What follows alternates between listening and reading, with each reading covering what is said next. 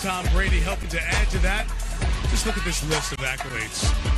As great a list as you will ever see. Tonight's start 300. First player in NFL history with 300 starts. There are a couple he's not the record holder. Second in passing yards, Drew.